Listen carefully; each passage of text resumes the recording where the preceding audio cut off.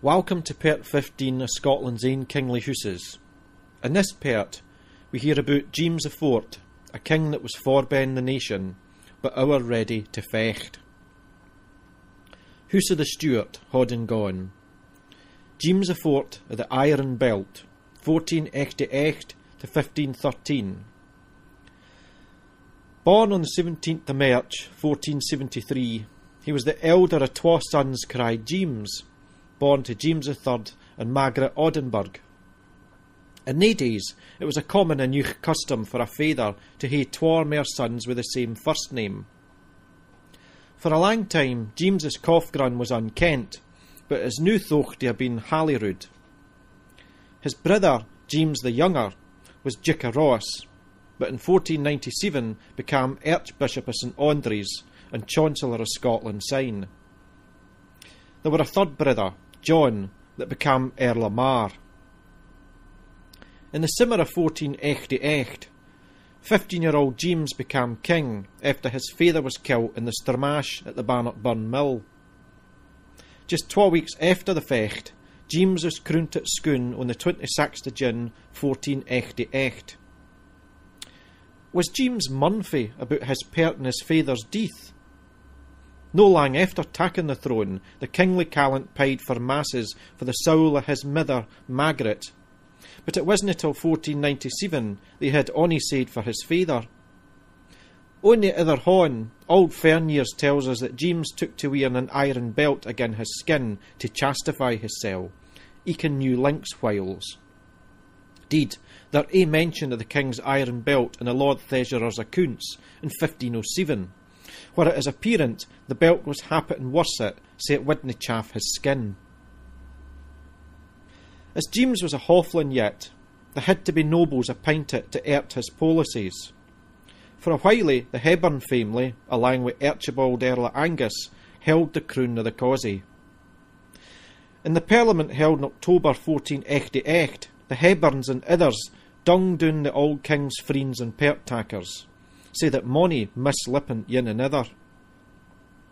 It wasn't a muckle wonder that another rising was steered up in the summer in Hurst of 1489. A day, Lord Forbes gaed Ben Aberdeen with the deed king's bloody sark hanging for his spear and calling for the murderers to be fun.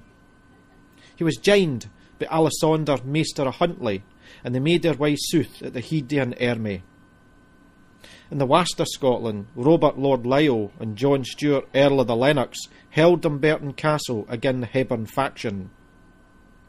It took twa sharp fechts in the October, yin at the Moss of Tuch, and another at Gartlone by Aberfoyle, with sixteen year old James at the head of the army, to peacify folk.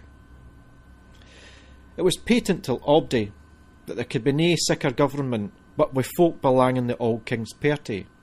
So the King's Council was, before 1490, wailed for among all parties.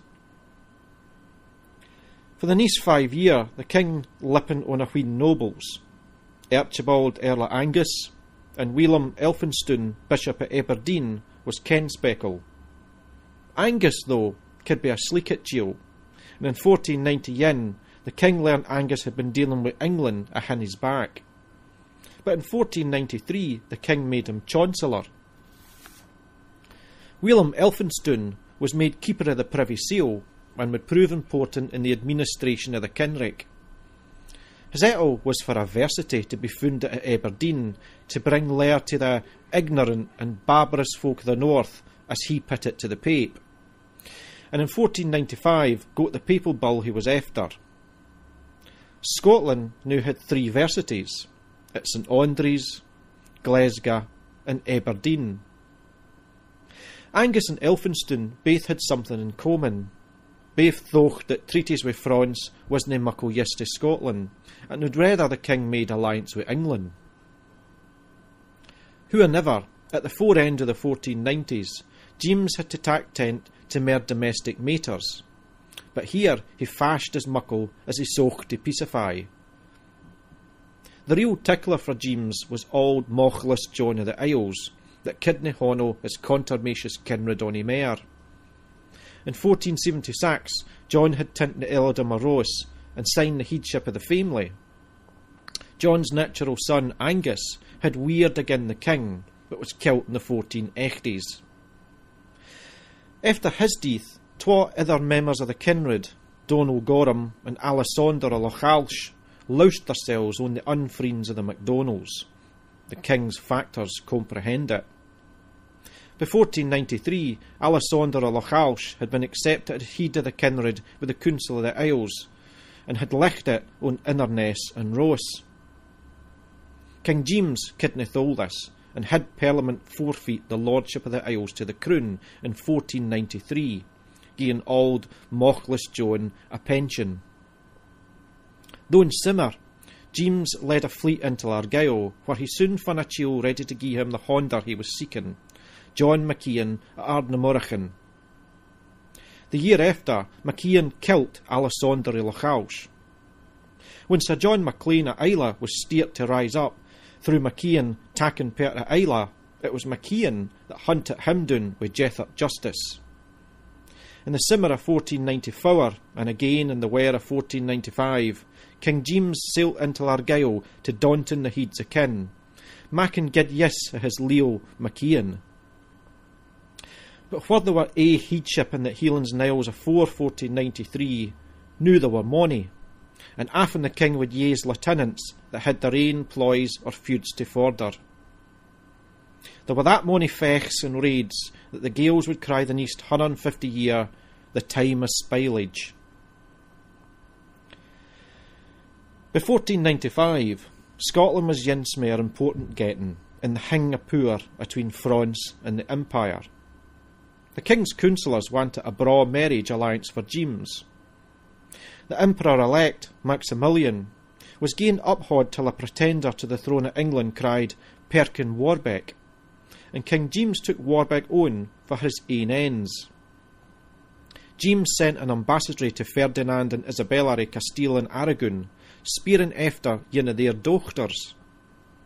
Ferdinand and Isabella was acute twassome, in the middle of troking with England for a marriage with King Henry, an alliance against the French. Ferdinand and Isabella didn't want Scotland making war on England for France, but had nae dochter to offer the Scots.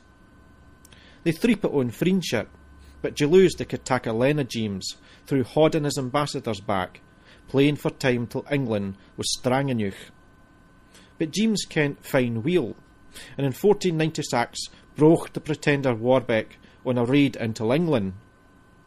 In 1497 he led twa three more raids on siege at Norham Castle with his muckle cannon Mons Meg that was broke down for Embra with a hundred workmen to read the way. The King of England, with risings at hame, could do nothing, and in September 1497 agreed a seven year truce with Scotland.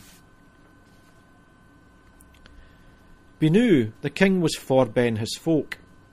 He had an interest in mony arts and letters like nae king afore, or at least mere records has one hour to tell, us about, tell us about him. For instance, he was skeely in Leeds. His mother tongue was Scots, but James spoke French, Italians and Spanish, Dutch, German, and Latin for forby. He is the hin mace king we ken spak Gaelic, though who versant he was is another matter. The young king keepit a screed of fancy wives, drawn from among the noble houses, that gied him mony bairns. His first fancy was Marion Boyd, niece of Archibald Earl of Angus and mother of James's son Alessander, born in 1493. James sent his son Outland for an education, the laddie hain Erasmus for a teacher.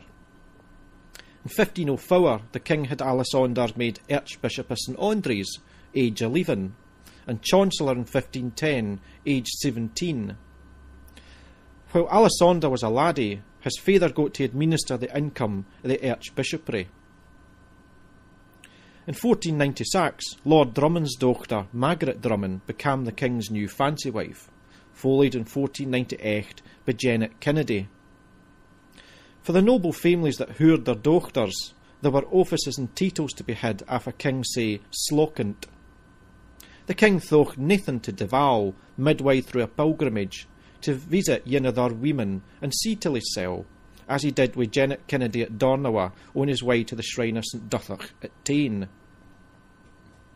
The king had a wife, but at the hinner after Tim Hondet trope with Castile and Aragon, France and other kinricks, the policy was for peace with England through a marriage. In 1502, the twa kings agreed a treaty of peace that was meant to aye had gone, and James was married on the 8th of August 1503 at Holyrood on Margaret Tudor. Margaret had been born at Westminster on the 29th November 1489 and was the daughter of Henry VII of England and Elizabeth of York. James was aged 30 and Margaret was just 13. James's policies outland comprehended the wares between his uncle, King John of Denmark, and Sweden with the errand merchants of the town Lübeck in Germany. The Scots sent two or three ships to the Easter seas to give King John a Honda in 1502, and in 1505 King James acted as oarsman between King John and Sweden. In 1507, James's ambassador to Lübeck broke peace between the town and Denmark. In these same years, James warsled with the problems of his cousin, Charles Duke of Gueldre, that was threatened with Castile and the Empire, and put Henry of England off joining their poors against Charles. By 1507, the Pope, Julius II, was wanting James on his side in his ploys against France. He kent that James was allied with the French, but wanted to draw him a war so that he could big up a League of States to drive France out to Italy. Though in year, Julius sent our Antonio Invisiati with a giftier sword and hat that he had blessed.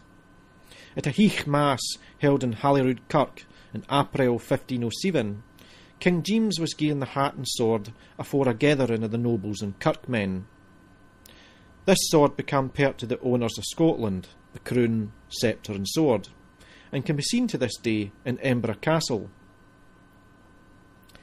King James had declared to the Pope his wish to heed a crusade to the Holy Land, and for all the princes of Europe to come together in peace. But their princes was a fascist thrang.